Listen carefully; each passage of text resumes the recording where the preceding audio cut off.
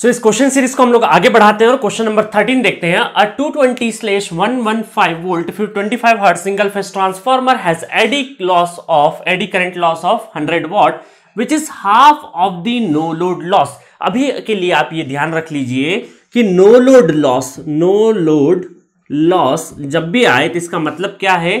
सिर्फ़ और सिर्फ़ कोर लॉस कोर लॉस ठीक है? और कोर लॉस का मतलब क्या है? Eddy current and hysteresis hysteresis and eddy current का कॉम्बिनेशन ठीक है?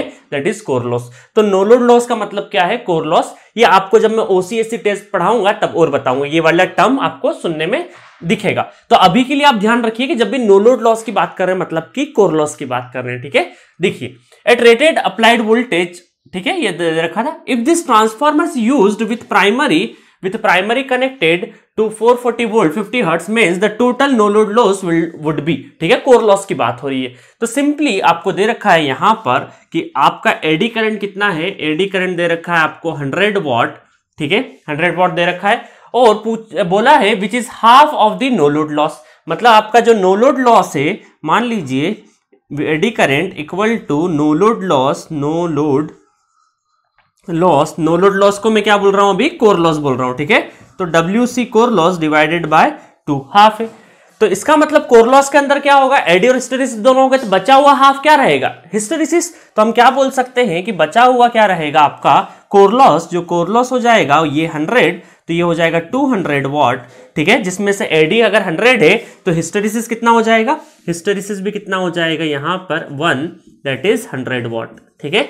तो आप समझ में आ गया कि नो लोड लॉस में से मतलब पूरे नो लोड लॉस में से अगर आधे एडी करंट है तो बचे हुए आधे क्या रहेंगे? हिस्टेरिसिस रहेंगे। तो 100 एडी तो यहाँ पर हिस्टेरिसिस भी कितना हो जाएगा? हमारा 100 हो जाएगा। अब आपसे पूछा है, जब ये काई पे कनेक्ट कर रहे हैं? ये सारा का सारा कब कनेक्ट कर रहे हैं हम लोग? ये two twenty slash one one five volt और ट्वेंटी फाइव हर्ट्स ठीक है? तो यहाँ से, ये मैं रफ कर देता हूँ यहाँ से। अब आपसे पूछा है कि बताइए if this transformer use to connected primary connected to 440 volt primary मतलब कि यहाँ पुराना वाला वोल्टेज क्या है? 220 अब टू वोल्टेज कितना हो जाएगा? अब वोल्टेज हो जाएगा 440 वोल्ट 50 हर्ट्स ठीक है? तो यहाँ से आपसे पूछा है कि बताइए नो लोड लॉस मतलब कोर लॉस अब कितना है? ठीक है? अब आपको ध्यान रखना है कि वी बाई एफ़ तो वी बाई एफ़ में यहाँ पर दो वोल्टेज आप क्या ध्यान रखेंगे? क्योंकि प्राइमरी पे है तो यहाँ का भी प्राइमरी से ही कंपेयर करना पड़ेगा।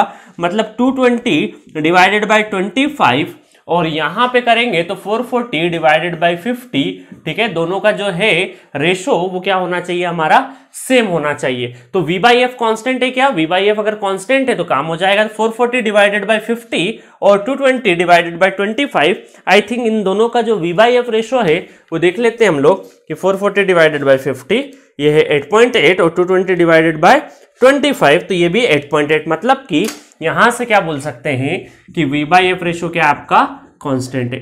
ठीक है, जैसे v by F ratio constant हम क्या बोल देंगे? कि यहाँ से जो हिस्टेरिसिस है H W two W H one equal to F two divided by F one तो यहाँ से डब्ल्यू एच टू हिस्टेरिसिस नया कितना हो जाएगा? पुराना है हंड्रेड और यहाँ से एफ़ टू कितना है हमारा फिफ्टी और एफ़ वन कितना है ट्वेंटी फाइव तो ये हो जाएगा पच्चीस दुना सौ तो दो सौ वॉट। ठीक है? तो hysteresis eddy current eddy current जब V by F ratio constant है तो प्रोपोर्शनल टू क्या हो जाता है? फ्रीक्वेंसी स्क्वायर तो W two equal to W E one ठीक है? W E one equal to F two divided by F one का होल स्क्वेयर इसी को अगर हम लोग आगे बढ़ाएँगे तो W E two equal to कितना हो जाएगा? हंड्रेड एफ़ टू कितना है? Fifty divide by twenty five का स्क्वेयर पच्चीस दुना सौ चार तो ये हो जाएगा चार सौ। तो टोटल कोर लॉस कितना हो जाएगा? W H two plus W E two that is चार सौ, नॉट चार सौ, दो सौ प्लस चार सौ कितना हो गया? 600 वॉट। तो 600 watt is the correct answer तो B is the right answer ठीक है? आई बात समझ में क्या करना है क्या नहीं? यहाँ पर कंफ्यूजन क्या था? सिर्फ़ नो लोड वाला स्टेटमेंट कंफ्यूजन वाला था। नोलोड लॉस आज से आप क्या मानोगे? कोर लॉस मानोगे। इस पॉइंट को मैं और ज़्यादा इलोबरेट करूँगा जब ओसीएससी टेस्ट पढ़ेंगे, ठीक है? तो अभी के लिए तो इतना है। और दूसरा है कि जब भी ट्रांसफार्मर रेशो दे दे तो कौन सा voltage V by F ratio में लोगे, ये डिपेंड करेगा कि अगला काई पे अप्लाई हो रहा है। तो ये प्राइमरी पे अप्लाई हो रहा है दूसरा वाला वोल्टेज तो इसका भी कंपेरिजन किससे करेंगे हम लोग? वी बाई एफ़ का, वो वी बाई एफ़ वाले में जो वैल्यू लेंगे, वो प्राइमरी वाली ही लेंगे। ठीक है? तो नेक्स्ट क्वेश्चन की तरफ़ बढ़ते हैं। सो क्वेश्चन नंबर 14 देखते हैं। बहुत ही अच्छा क्वेश्चन है, क्योंकि इस तरह के क्वेश्चंस क्योंकि देखो इसमें जो लैंग्वेज टर्मिनोलॉजी है, खासकर लेमिनेशन की थिकनेस की, जैसे इस तरह के क्वेश्चंस आते हैं तो बहुत सारे स्टूडेंट छोड़ देते हैं बिना पढ़े। देखिए, मैं बताऊँगा कि एडी करंट का फॉर्मूला किस तरीके से थिकनेस के हिसाब से चेंज होगा। देखते हैं अभी uh 220 volt 50 hertz transformer with point 35 mm thick laminations has eddy current loss of 120 watt, which is two third of the total loss at no load ये टोटल लॉस कहीं पे है? नो लोड पे। तो नो लोड लॉस की बात करेंगे that is a core loss ठीक है? If this transformer is build with zero point zero point seven zero M M thick lamination and is worked from 110 volt to 25 hertz, then the total no load loss would be ठीक है? अब आपसे बोला है, देखिए, पहली चीज़ तो हम ये क्लियर कर दे कि जो भी कोर लॉस है that is core loss equal to loss at no load no load के ऊपर जो लॉस है, वही हमारे क्या है असल में कोर लॉस है। ठीक है? और एक और चीज़ दे रखी कि आपको एडी करंट कितना दे रखा है? 120 वॉट दे रखा है। 120 वॉट दे रखा है। कब? जब ये 220 वोल्ट 50 हर्ट से हमारा ऑपरेट हो रहा है। और साथ में एक इंफॉर्मेशन और है कि eddy current which is two third two third of the total no load loss तो हम क्या बोल सकते हैं eddy current equal to two by three into no load मतलब कि no load equal to copper loss sorry core loss कर देता हूँ मैं, ठीक है? No load loss equal to core loss, ठीक है? तो ये वाली इंफॉर्मेशन दे रखी। है मतलब कोर लॉस के अंदर क्या होगा? ये जो नो लोड लॉस है, इसी के अंदर हमारा डब्ल्यू एच और डब्ल्यू ई रहेगा, ठीक है? तो यहाँ से अगर ये हमें 120 दे रखा है तो ये कितना हो गया? Two by three W C तो ये हो जाएगा डब्ल्यू सी कितना हो जाएगा? 120 twenty into three divided by two that is 120 twenty into three one three sixty three sixty by two one eighty watt तो 180 टोटल हमारा क्या है? कोर लॉस है इस वाले ऑपरेटिंग रीजन पे। और उसमें से उसमें से कितना है? 120 कितना चले जा रहा है? 180 में से 120 क्या? एडी करेंट तो बचा हुआ 60 क्या रहेगा? हिस्टेरिसिस रहेगा। बचा हुआ 60 कितना रहेगा? 60 वॉट हिस्टेरिसिस रहेगा। ठीक है? तो यहाँ से हमें पता चल चुका है कि डब्ल्यू वन और डब्ल्यू कितना है हमारा? 60 और ये कितना है हमारा? 120 ठीक है? और यहाँ पर जो थिकनेस है, जो थिकनेस है टी वो कितना है हमारा? Point three five M M M M, ठीक है?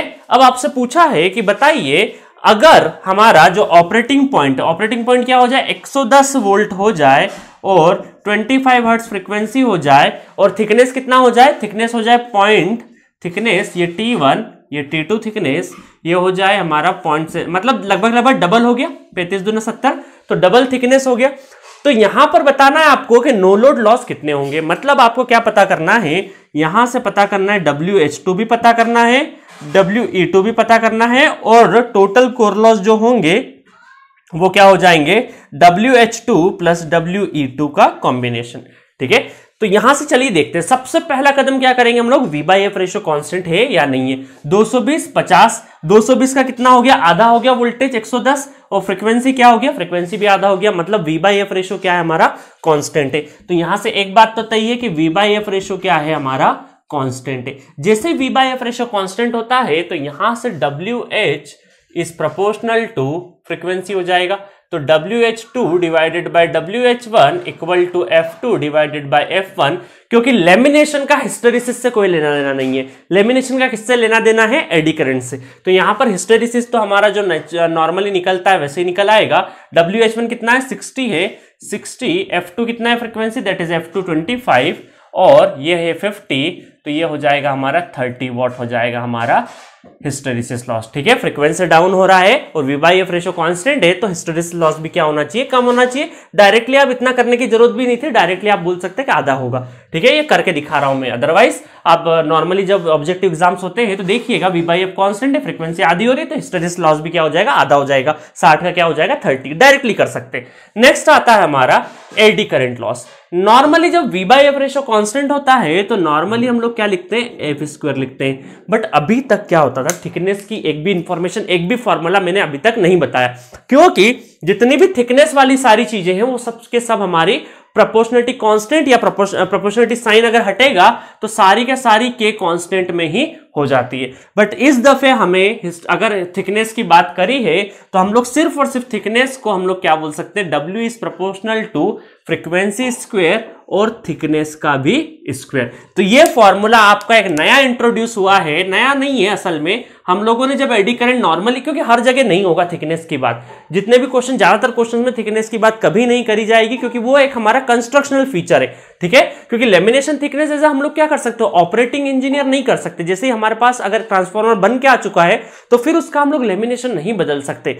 As a design engineer problem है ये, कि जो डिज़ाइन कर रहा है, वही चेंज कर दे रहा है, अगर इस तरीके से तो हम क्या बोलेंगे कि एडी करंट में जब थिकनेस का कंसिडरेशन लेना पड़ेगा तो directly proportional to thickness square ठीक है? तो इस चीज़ को आप ध्यान रखिएगा। जब भी अगर थिकनेस की बात नहीं करें तो इसको कांस्टेंट में ले लेंगे, ठीक है? और थिकनेस की बात करेगा तो टी स्क्वायर के प्रोपोर्शनल हो गया। अब देखिए, ध्यान से थोड़ा लॉजिक लगाइए कि थिकनेस हो रही है डबल और फ्रीक्वेंसी क्या हो रही है हाफ़ मतलब एक तरफ़ फ्रीक्वेंसी हो रही है हाफ़ और थिकनेस हो रही है डबल मतलब कोई अंतर पड़ना चाहिए क्या? एडी करंट एडी करंट पे नहीं पड़ना चाहिए? 120 का 120 ही निकलना चाहिए। फिर भी हम करके देखेंगे यहाँ पर। अदरवाइज़ तो यहाँ पर डायरेक्टली आप क्या बोल सकते हैं?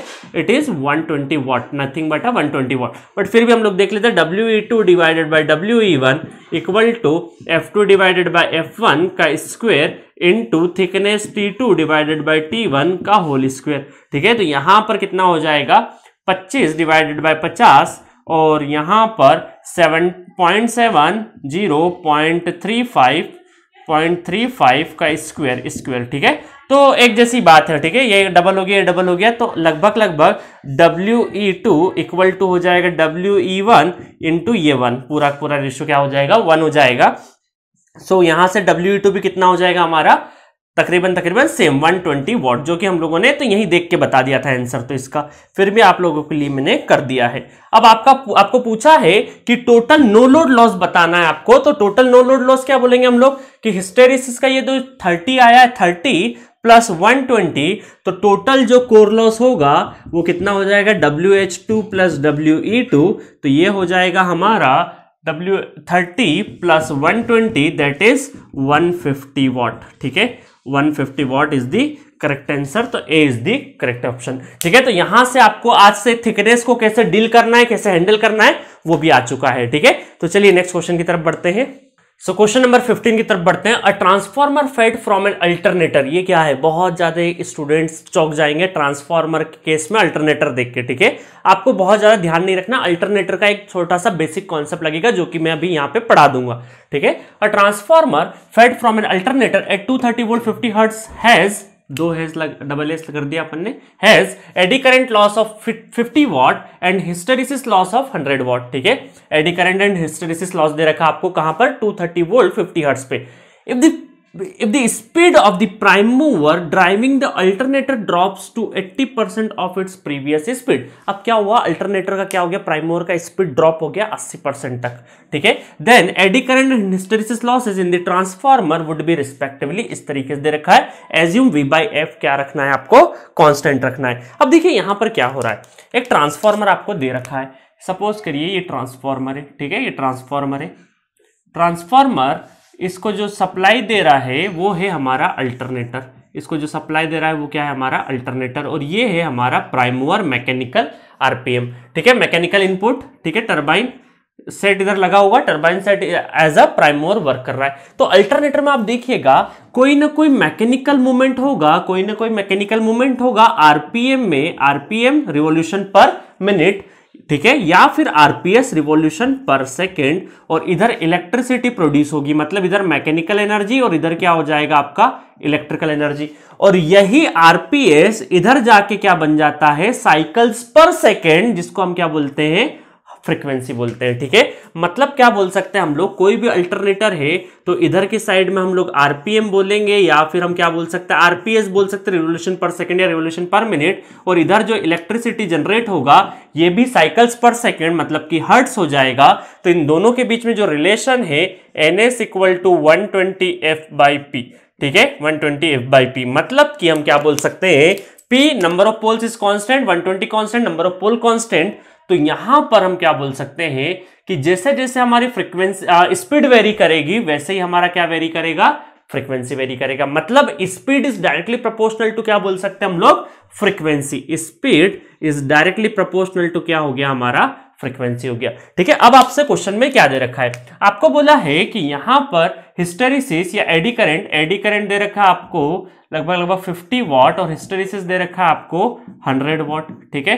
और ये कहाँ पे दे रखा है आपको 230 वोल्ट और 50 हर्ट्ज फ्रीक्वेंसी। और यहाँ से बोल दिया वी बाई एफ़ क्या आपको रखना है? कांस्टेंट रखना एज्यूम कर लीजिए। मतलब किसी एक सर्टेन फ्रीक्वेंसी F1 पे ये सारा का सारा डेटा है, क्योंकि वोल्टेज की बात नहीं करें क्योंकि स्पीड चेंज मतलब की फ्रीक्वेंसी चेंज और वी बाई एफ़ कॉन्स्टेंट है तो सिर्फ़ फ्रीक्वेंसी पर डिपेंडेंसी से हम लोग क्वेश्चन कर देंगे। आपसे पूछा है कि बताइए इंडिविजुअली हिस्टेरिसिस और एडी करंट लॉस कितने होंगे जब स्पीड कितना हो जाए? 80 परसेंट ड्रॉप हो जाए। मतलब कि स्पीड जो F2 है स्पीड कहाँ तक हो गई? 80 परसेंट तक ड्रॉप हो गई। Up to drop to 80 percent ध्यान रखना ड्रॉप टू 80 परसेंट या ड्रॉप बाई 80 परसेंट में अंतर है। ड्रॉप टू मतलब 100 था अब कहाँ पे चल रहा है? 80 पे चल रहा है। इसका मतलब इस, जो फ्रीक्वेंसी भी कहाँ तक हो गई? क्योंकि स्पीड वेरी करी तो फ्रीक्वेंसी वेरी करेगी। तो ये हो गया 80 percent of previous value previous value F1 थी अब कितना है इसका? 80 परसेंट वैल्यू है है ना? Up to drop to 80 percent of its previous value और यहाँ पर आपको क्या फाइंड करना है? डब्ल्यू ई बता और डब्ल्यू एच बताना है, ठीक है? तो यहाँ से थोड़ी देर के लिए हम लोग डब्ल्यू एच प्रोपोर्शनल टू क्या होगा? फ्रीक्वेंसी तो W H two divided by W H one equal to F two divided by F one तो W H two equal to W H one कितना है? ये वन वन मान लेते हैं। हंड्रेड एफ़ टू कितना है हमारा? एफ़ टू है पॉइंट एट एफ़ वन और ये भी एफ़ वन तो F one F one cancel out तो ये हो जाएगा हमारा 80 वॉट ये कितना हो गया? 80 वॉट तो नया हिस्टेरिसिस लॉस कितना हो गया? हमारा 80 वॉट हो गया।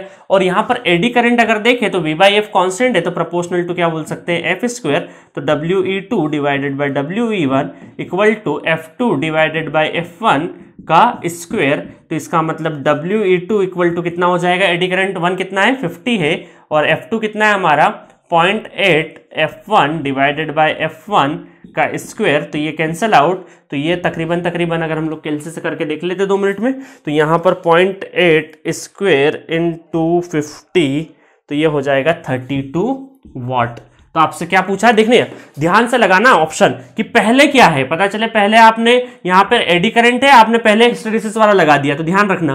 पहले एडी करंट एंड हिस्टेरिसिस है मतलब पहले एडी करंट वाला लगाना मतलब 32 तो 32 तो दो जगह दे रखे हमें, और हिस्टेरिसिस कितना है? 80 तो B is the correct answer. तो यहाँ से हम लोग इस तरीके से क्वेश्चन को कर दिए। यहाँ पर अल्टरनेटर देकर, उसकी स्पीड देकर आपको क्या करा है कंफ्यूज किया है, या फिर आपको बोल सकते हैं कि एडिशनल इंफॉर्मेशन ये पता होनी चाहिए। ये इंफॉर्मेशन हम लोग जब पावर सिस्टम में डिस्कस करेंगे स्टेबिलिटी वगैरह तो वहाँ पर बहुत डिटेल में डिस्कशन करेंगे मॉडलिंग करेंगे। मैकेनिकल से इलेक्ट्रिकल में कन्वर्जन करने के लिए हम लोग इस अल्टरनेटर का क्या करेंगे? मॉडलिंग करेंगे। इसी मॉडलिंग को आप स्विंग इक्वेशन के नाम से जानते हैं। ठीक है? वो स्टेबिलिटी वाले टॉपिक्स में हम लोग करेंगे। अभी आपको ध्यान रखना है प्राइम मूवर का स्पीड मतलब क्या हो जाएगा? फ्रीक्वेंसी हो जाएगा। मतलब कि अगर हम यहाँ से लोड कम ज़्यादा करते हैं तो वहाँ पर हमारे पावर प्लांट में किस पे अंतर पड़ता है? फ्रीक्वेंसी पे अंतर पड़ता है। मान लीजिए यहाँ पर अगर हम लोग लोड बढ़ा देते हैं तो वहाँ फ्रीक्वेंसी डाउन हो जाएगा और यहाँ पर लोड कम कर दें तो वहाँ फ्रीक्वेंसी क्या हो जाता है? बढ़ जाता है। तो चलिए इसी के साथ ये क्वेश्चन खत्म होता है। नेक्स्ट क्वेश्चन की तरफ़ बढ़ते हैं। सो नेक्स्ट क्वेश्चन देखते हैं. Question number 16 in a transformer eddy current loss is 100 watt which is half of the total core loss ठीक है? अभी तक जितना आ रहा था which is half of the no load loss और इस तरीके से लैंग्वेज यूज़ कर रहे थे बट यहाँ पर क्लियरली लिखा है टोटल कोर लॉस। तो नो लोड लॉस का मतलब भी कोर लॉस ही होता है। If both the thickness, if both the thickness of lamination and frequency are increased by 10 percent, the new core loss would be और आपको ब्रैकेट में एक एडिशनल इंफॉर्मेशन दे रखी है assume V by F constant कहीं पर भी अगर आपको वी बाई एफ़ कॉन्स्टेंट अगर लिखा हुआ नहीं रहे और आपको समझ नहीं आ रहा है कि वोल्टेज के साथ क्या करना है तो ऐसे टाइम पर आप मान लीजिएगा कि वी बाई एफ़ क्या है कॉन्स्टेंट होगा, ठीक है? कॉमन सेंस बेसिस पे लगाइएगा ठीक है? तो यहाँ तो मैंने लिख दिया है कि assume V by F constant अगर नहीं भी लिखा रहे तो कॉमन सेंस लगाइएगा। देखते हैं क्वेश्चन नंबर इस क्वेश्चन को डील करना है तो हम कैसेस बना लेते हैं। तो सबसे पहले चीज़ तो एडी करंट हमको दे रखा है हंड्रेड वॉट ठीक है? एडी करंट दे रखा है hundred watt which is half of the core loss तो कोर लॉस का क्या है? हाफ़ है तो बचा हुआ हाफ़ क्या रहेगा? एडी करंट लॉस तो कोर लॉस टोटल कितना हो गया? ये हो गया 200 वॉट तो 200 में से आधा क्या है हमारा? एडी तो बचा हुआ 100 क्या रहेगा? हिस्टेरिसिस रहेगा। तो ये इंफॉर्मेशन वन वन मिल चुकी है, हमारी कोर लॉस भी वन हो चुका है। और ये कहाँ पे आया है? कोई थिकनेस टी वन होगा, कोई फ्रीक्वेंसी एफ़ वन होगा, यहाँ पे आया है। ठीक है? अब देखते हैं कि नेक्स्ट आपको क्या बोला है कि बताइए, जब आपकी जो थिकनेस है वो 10 परसेंट से इंक्रीज कर जाए मतलब T2 जो है वो हो जाए 1.1 T1 और F2 जो हो जाए 1.1 F1 10 परसेंट का मतलब 1 है ना? 10 परसेंट बढ़ा दिया मतलब 1.1 तो आपको ध्यान रखना ये टेन परसेंट इंक्रीज को इस तरीके से लिख सकते हैं 1.1 टाइम ऑफ़ टी वन तो अब यहाँ पर देखें तो अगर वी बाई एफ़ कॉन्स्टेंट है तो हिस्टेरिसिस का रिलेशन क्या हो जाएगा हमारा? Hysteresis relation proportional to frequency तो यहाँ पर W H two divided by W H one equal to F two divided by F one तो यहाँ पर W H two W H one कितना है हमारा? हंड्रेड है। हंड्रेड फ्रीक्वेंसी एफ़ टू कितना है? One point one times of F one divided by F one तो कैंसल आउट तो यहाँ से हो जाएगा एक सौ, ये तकरीबन तकरीबन एक सौ दस। वॉट 110 वॉट हो जाएगा, ठीक है? तो यहाँ से हमारा WH2 तो निकल गया है 110 आपसे पूछा है कोर लॉस मतलब एडिशन करना है 110 में अभी हमको एडी करंट भी प्लस करना पड़ेगा। अब एडी करंट देखिए एडी करंट के साथ अगर देखा जाए तो हम क्या बोल सकते हैं? Eddy current is proportional to normal V by F अगर कॉन्स्टेंट होता है तो फ्रिक्वेंसी स्क्वायर बट यहाँ पर क्या है? थिकनेस भी है। तो ये क्या हो जाएगा? टी स्क्वेयर भी रहेगा।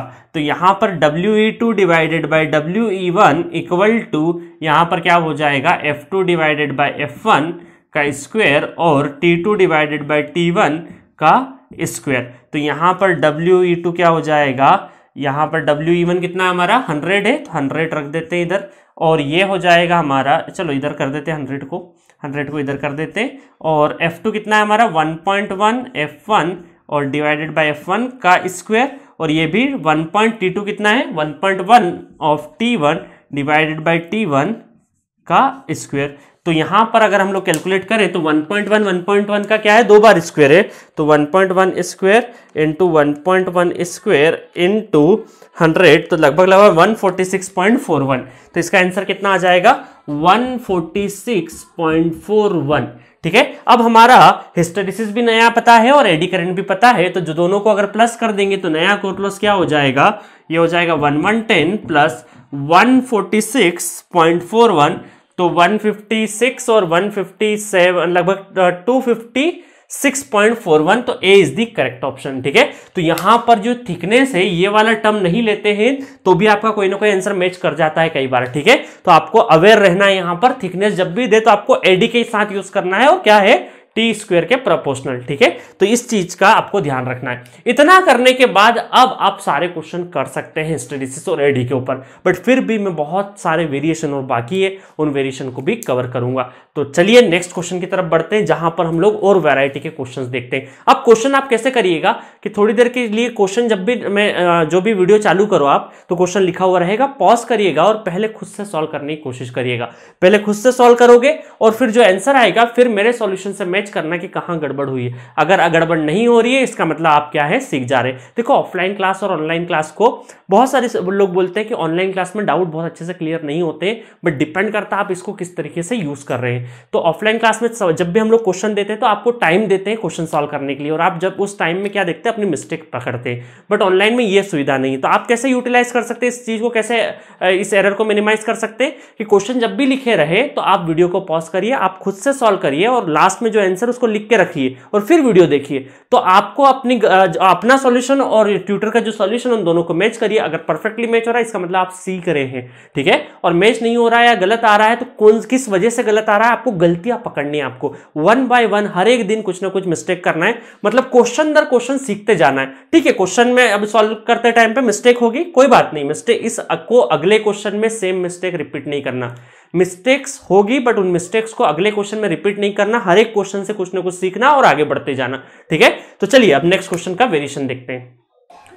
सो क्वेश्चन नंबर 17 देखते हैं। The hysteresis and eddy current losses of a single phase transformer working on 200 volt 50 hertz supply are WH and W respectively full stop the percentage decrease in this load in this losses the percentage decrease in this losses when operated on 160 volt and 40 hertz supply would be respectively ठीक है? इस question को आप video को pause करिए। पहले question खुद से ट्राई करना है। पहला स्टेप ध्यान रखिएगा V by F ratio constant है या नहीं है? और जल्दी से क्वेश्चन चार ऑप्शन है आपके पास और करके दिखाइए, ठीक है? जब तक मैं सोल्यूशन करता हूँ। तो यहाँ पर हमारे पास क्या है? V by F ratio constant है कि नहीं? क्योंकि 200 डिवाइड बाई 50 तो कितना हो जाएगा? 5 फोर फोर आ जाएगा। और 160 डिवाइड बाई 40 ये भी फोर आ जाएगा। मतलब कि वी बाई एफ़ रेशो क्या है आपका इस क्वेश्चन में? कांस्टेंट है, ठीक है? तो यहाँ पर हम क्या बोल देंगे कि यहाँ पर WH1 और WE1 ये हिस्टेरिसिस लॉसेस है हमारे कहाँ पर? 200 वोल्ट 50 हर्ट्ज पे, ठीक है? और आपको निकालने हैं WH2 और WE2 निकालने कहाँ पर? 160 वोल्ट और 40 हर्ट्ज पे। ठीक है? तो यहाँ से हम लोग क्या करेंगे? सबसे पहले तो हमें पता है WH is proportional to F when V by F is constant तो WE2 divided by WE1 WH1 equal to F2 divided by F1 तो WH2 इक्वल टू क्या हो जाएगा? F2 कितना हो जाएगा? 50 नॉट फिफ्टी 50 ये हो जाएगा F2 ये हो जाएगा हमारा एफ़ वन तो ये हो जाएगा हमारा 40 divided by fifty into W H one ठीक है? तो डब्ल्यू एच टू कितना हो जाएगा? फोर बाई फाइव कितना हो जाएगा? पॉइंट एट तो point eight W H one इसका मतलब क्या हो गया? हिस्टोरिसिस लॉस कितना डिक्रीमेंट हो गया? ट्वेंटी परसेंट डिक्रीज हो गया। कितना हो गया? ट्वेंटी परसेंट डिक्रीज आपसे पूछा है पहले नंबर पे कौन है? This losses when operated on supply would be respectively मतलब पहले है आपका डब्ल्यू एच और बाद में है डब्ल्यू ई ठीक है? तो डब्ल्यू एच कितना है? ट्वेंटी है तो यहीं से हमारा आंसर टिक हो जाता है क्योंकि एक ही ट्वेंटी है तो यहाँ से ये आंसर टिक कर सकते हो। बट फिर भी हम लोग एडी करंट के लिए भी निकालेंगे। तो एडी करंट के लिए क्या हो जाएगा? एडी करंट के लिए W E W E V by F constant है तो प्रपोर्शनल टू एफ़ स्क्वेयर तो W E two divided by W E one equal to F two divided by F one का स्क्वेयर तो W E two equal to कितना हो जाएगा? यहाँ पर तकरीबन तकरीबन फोर बाई फाइव तो डब्ल्यू ई वन और फोर बाई फाइव का स्क्वेयर ठीक है? तो ये हो जाएगा हमारा तकरीबन तकरीबन सिक्सटी फोर ठीक है? तो point six four W E one equal to W E two इसका मतलब क्या हो जाएगा? हंड्रेड में से वन में से पॉइंट सिक्स फोर माइनस करेंगे, कितना आएगा? पॉइंट थ्री सिक्स मतलब थर्टी सिक्स परसेंट क्या हो जाएगा हमारा? डिक्रीमेंट हो जाएगा। तो यहाँ पर 36 परसेंट डिक्रीमेंट हो रहा है और यहाँ पर 20 परसेंट डिक्रीमेंट। कैसे पता चला कि वन में से पॉइंट एट माइनस करें तो बचा हुआ 20 परसेंट डिक्रीमेंट। और ज़ीरो वन से कम आए मतलब डिक्रीमेंट वन से ऊपर जाए मतलब कि इंक्रीमेंट ठीक है? तो टेन परसेंट इंक्रीमेंट लिखना है तो कैसे लिख देंगे? मान लीजिए टेन परसेंट इंक्रीमेंट लिखना है हमें तो 1.1 लिख देंगे। 20 परसेंट इंक्रीमेंट लिखना है हमें तो 1.2 लिख देंगे। 25 परसेंट इंक्रीमेंट लिखना है तो 1.25 लिख देंगे। टेन परसेंट डिक्रीमेंट लिखना है तो हम पॉइंट नाइन लिख देंगे। 20 परसेंट डिक्रीमेंट लिखना है तो पॉइंट एट ज़ीरो तो ये लिखने के तरीके हैं, बहुत सारे स्टूडेंट कंफ्यूज होते हैं इसको लिखने में, ठीक है? अब बाकी मैंने इसके लिए बता दिया आपको ट्रिक ठीक है? तो यहाँ पे आंसर क्या आ जाएगा हमारा? B is the correct option ध्यान ज़रूर रखिएगा कि पहले क्या लिखा है? डब्ल्यू एच लिखा है डब्ल्यू ए लिखा है, नहीं तो गड़बड़ हो जाएगा इधर उधर कर दिया तो। ठीक है? तो क्वेश्चन नंबर एट सेवनटीन हो गए। क्वेश्चन नंबर एटीन की तरफ़ बढ़ते हैं।